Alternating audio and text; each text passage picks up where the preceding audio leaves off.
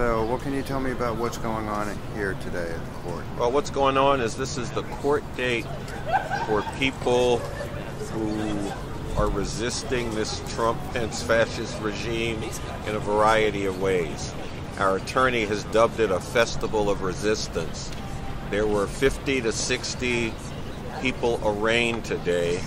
Those of us from Refuse Fascism, seven of us, were arraigned on charges of disrupting Congress because we brought some truth into the hearing on the appointment of Jefferson Beauregard Sessions to be the next Attorney General of the United States. And where those senators in Congress were talking about how this man didn't have a racist bone in his body, we brought the truth out that his whole bone structure was racist and that he concentrated the racism, the anti immigrant stance, the woman hating of the Trump Pence regime.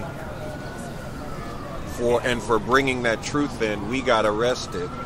And we're in court today being arraigned along with people from Code Pink, people from uh, Casa de America, an immigration rights group, people from Witness Against Torture, Democracy Spring, and a few others that I don't remember the names of the groups.